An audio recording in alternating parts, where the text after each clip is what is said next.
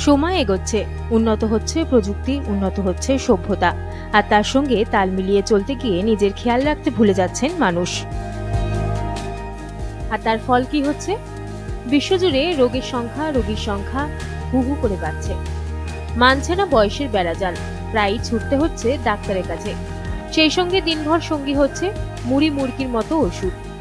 শরীর সুস্থ রাখা, সুস্থ থাকাই এখন বড় চ্যালেঞ্জের হয়ে যাচ্ছে। এরই মধ্যে ভয়াবহ সমীক্ষা প্রকাশ করল ল্যান্ডসেট যা ভারতের জন্য বেশ উদ্বেগজনক। কর্পোরেট জীবন হোক বা সরকারি চাকরি, সপ্তাহ জুড়ে কাজ, ইঁদুর দৌড় সোশ্যাল মিডিয়া সপ্তাহান্তে ছোট্ট ভ্যাকেশন বন্ধুদের সঙ্গে হ্যাং আউট এই পরিধির মধ্যেই সীমাবদ্ধ হয়ে যাচ্ছে মানুষের জীবন। বিশেষ করে তরুণ প্রজন্ম এই ধরনের জীবনযাপনে অভ্যস্ত হয়ে যাচ্ছে, ফলে ফিজিক্যাল অ্যাক্টিভিটি কমে যাচ্ছে, পুড়ে হয়ে যাচ্ছে মানুষ। শারীরিক কার্যকলাপ সেভাবে নেই বললেই চলে। সমীক্ষা বলছে, বিশ্বের মধ্যে সব থেকে বেশি আনফিট ভারতীয়রাই।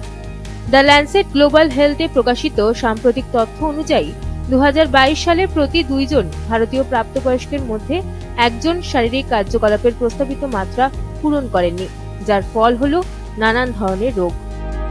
বিশেষজ্ঞরা বলছেন, শরীরচর্চা না করলে শারীরিক নিষ্ক্রিয়তা, heart attack, stroke, cardiovascular, diabetes dementia, স্তন এবং কোলন ক্যান্সারের মতো রোগের ঝুঁকি বাড়ায়।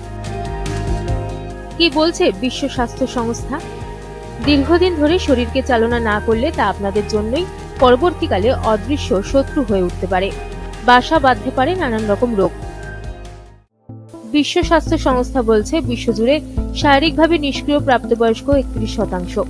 আর ভারতে সেই সংখ্যা কত জানেন? উনপঞ্চাশ দশমিক চার শতাংশ।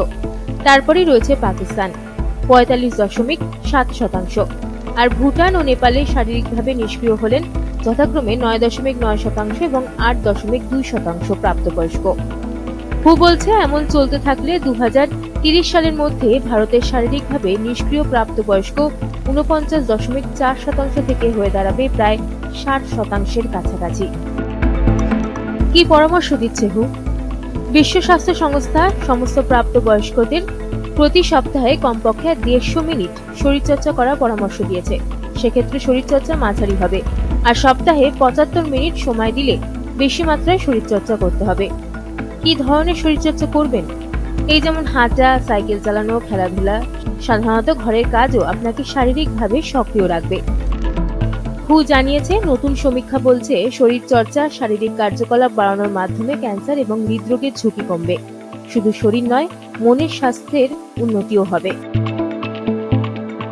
বিশ্ব স্বাস্থ্য সংস্থা জানিয়েছে, নিয়মিত শরীর চর্চা করলে ডায়াবেটিসের ঝুঁকি সতেরো শতাংশ, হৃদরোগ এবং স্ট্রোকের ঝুঁকি উনিশ শতাংশ, ডিমেনশিয়া আঠাশ থেকে বত্রিশ শতাংশ এবং বিভিন্ন ধরনের ক্যান্সারের ঝুঁকি আট থেকে আঠাশ শতাংশ কম করে। বিশ্বাস করা হয়, মানুষ যত শারীরিক দিক থেকে সক্রিয় হবে, বছরে অন্তত চার থেকে পাঁচ লাখ মৃত্যু রোধ করা যাবে।